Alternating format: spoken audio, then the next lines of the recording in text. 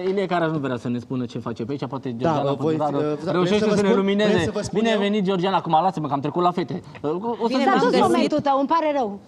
Am trecut v-am acum Georgiana, ce la faci, fete. Georgiana? Bine ai Bună, venit, Georgiana, dragă bine Ilie, te-am în familia găsit. ansamblului uh, profesionist Busiocul din Bacău și răspund și la întrebare. Ilie o să fie invitat în concertul nostru de la Sala Palatului din 12 iunie și este bă, și invitatul vostru și invitatul nostru. Iată A, că uite că avem și am un, uh, descoperit de ce a venit Ilie, să afiș. facă propagandă. Da, da, da, Spectacolului. da. Uh, Bine v-am găsit. Uh, Noi suntem pentru prima dată aici la dumneavoastră și ne bucurăm tare mult pentru invitația făcută. Sperăm să facem multe emisiuni de acest uh, gen, pentru că e cu voi bună de fiecare dată și cred că se și simte. Ansamblul folcloric profesionist Busuiocu din Bacău aniversează 50 de ani. 50 de ani de succes. Georgiana, tu de câți ani ești în acest frumos colectiv? Anul acesta o să fac uh, 17 ani. 17 ani, n-aș fi zis. Mă gândeam La, că la vreo anul ne 4, chem și pe noi să 5. sărbătorim majoratul. Fa- Da, la anul chiar mă gândeam că majoratul, deci petrecerea mea de majorat a avut loc uh, chiar la ansamblul Busiocul, pentru că cum uh, spunea și colega mea, Mihaela, că, cu care ați vorbit, uh, e chiar a, a doua mea familie și practic și la zile de naștere, și la nunți, uh, și la bă, petrecerile noastre.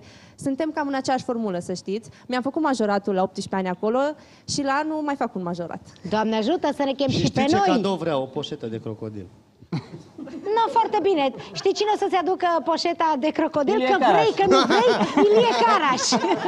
S-a auto-invitat deja la petrecerea ta de majorat. O iau cu îi colegul place, de la îi place vioară. cu noi. Îi place cu noi, asta e bine. Da, Paula pachet cu Florescu, colegul. te salutăm și pe tine cu mare drag. Ne bucurăm că ne reîntâlnim. Alte emoții de data asta. Bine v-am găsit, da, ne reîntâlnim.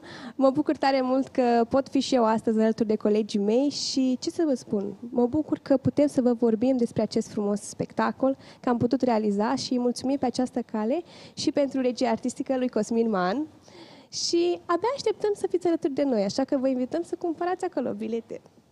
Eu cred că așteptați cu sufletul la gură uh, acest mare eveniment al vostru și este și normal pentru că orice artist își dorește în primul rând să ajungă să cânte pe scena sălii Palatului din uh, București, dar mai ales când vorbiți atât de frumos de familia voastră, cred că emoțiile sunt uh, de, de necuprins.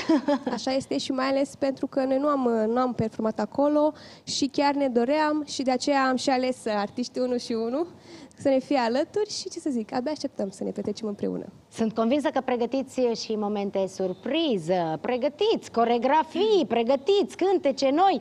Aflăm și noi așa câte un pic, câte un pic să-i determinăm pe cei de acasă să-și achiziționeze în cazul în care se mai poate uh, să-și mai achiziționeze bilete, că bănuiesc că s-au dat capita caldă, că vorba aia, cine n-ar vrea așa ceva. Mă duci?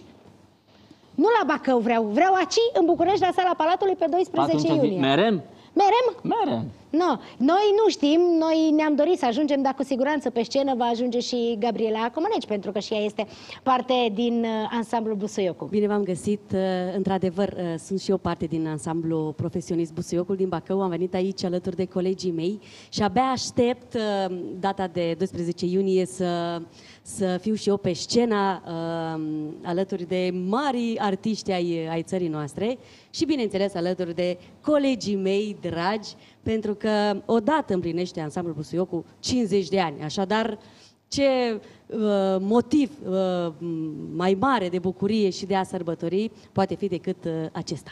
Doamne Abia ajută, să aștept fim să- cu să toții fiu acolo. sănătoși și la sută doinași să ajungem să cântăm și noi alături de dumnealor. Ce zici? Măcar să stăm la casa de bilete.